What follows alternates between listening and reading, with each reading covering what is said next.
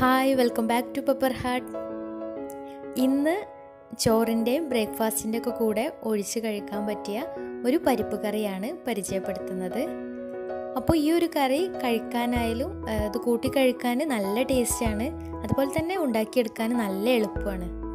അപ്പോൾ വീഡിയോയിലേക്ക് കിടക്കുന്നതിന് മുമ്പ് ആരെങ്കിലും ഇനിയും ചാനൽ സബ്സ്ക്രൈബ് ചെയ്യാത്തവരുണ്ടെങ്കിൽ താഴെ കാണുന്ന ചുവപ്പ് സബ്സ്ക്രൈബ് ബട്ടൺ ക്ലിക്ക് ചെയ്ത് സബ്സ്ക്രൈബ് ചെയ്യാൻ മറക്കരുത്.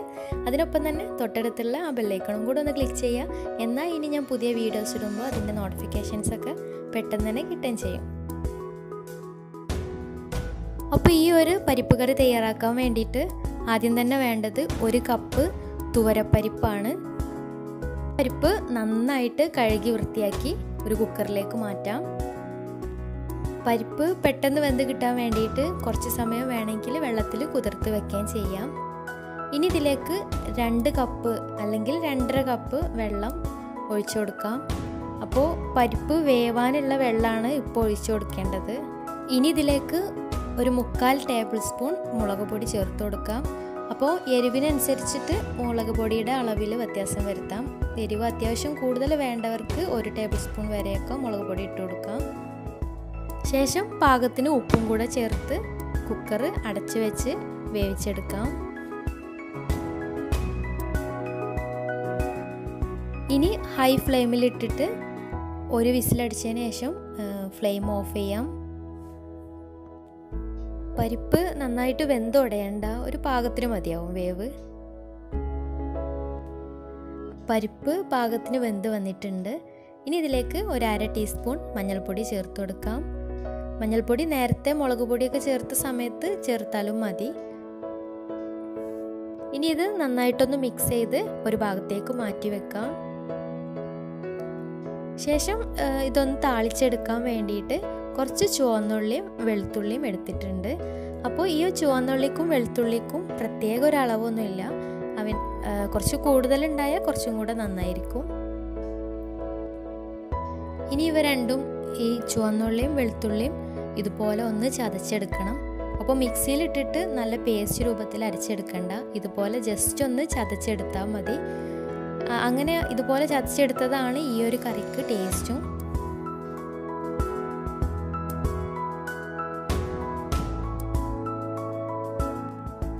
അപ്പോൾ ഇവ രണ്ടും ഒന്ന് ചതച്ചെടുത്തിട്ടുണ്ട്. ഇനി ഈ കറി ഒന്ന് താളിച്ചെടുക്കാൻ വേണ്ടിയിട്ട് ഒരു ചീനച്ചട്ടി സ്റ്റൗവിൽ വെച്ച് അത് ഒന്ന് ചൂടായി വരുമ്പോൾ അതിലേക്ക് രണ്ട് ടേബിൾ സ്പൂൺ വെളിച്ചെണ്ണ ഒഴിച്ചു കൊടുക്കാം. ശേഷം അതിലേക്ക് രണ്ട് വറ്റൽമുളക് ചേർത്ത് കൊടുക്കാം.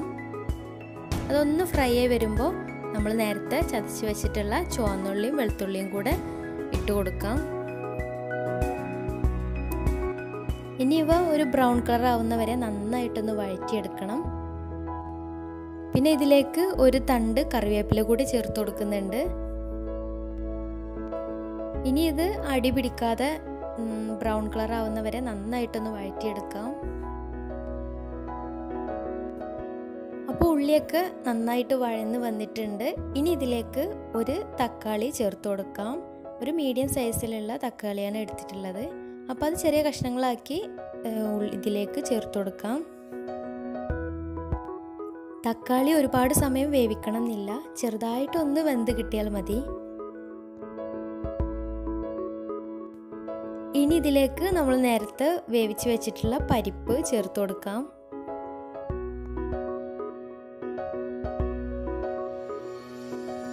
ശേഷം പാകത്തിന് വെള്ളം കൂടെ ചേർത്തിട്ട് ഒന്ന് തിളപ്പിച്ചെടുക്കാം.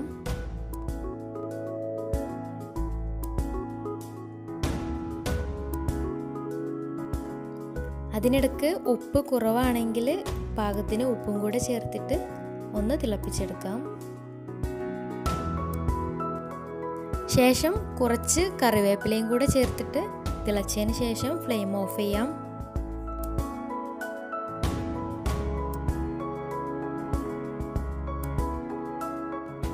അപ്പോൾ നല്ല ടേസ്റ്റി ആയിട്ടുള്ള പരിപ്പ് കറി റെഡി ആയിട്ടുണ്ട്. അപ്പോൾ ഈ ഒരു കറി ചപ്പാത്തിയുടെ കൂടെയും അതുപോലെ തന്നെ പൊറോട്ട ചോറിന്റെ കൂടെയൊക്കെ നല്ല ടേസ്റ്റിയാണ് കഴിക്കാനായിട്ട്. അതുപോലെ തന്നെ നല്ല എളുപ്പമാണ് ഉണ്ടാക്കിയെടുക്കാനും. അപ്പോൾ എല്ലാവരും ഒന്ന് ട്രൈ ചെയ്ത് നോക്കുക. വീഡിയോ ഇഷ്ടമായെന്ന് വിചാരിക്കുന്നു. ഇഷ്ടമായിട്ടുണ്ടെങ്കിൽ ലൈക്ക് ചെയ്യുക ഷെയർ ചെയ്യുക എന്തെങ്കിലുമൊക്കെ കമൻസ് ഫീഡ്ബാക്സ് ഉണ്ടെങ്കിൽ താഴെ കമന്റ് ബോക്സിൽ അറിയിക്കുകയും ചെയ്യുക അപ്പോൾ ഓക്കെ താങ്ക്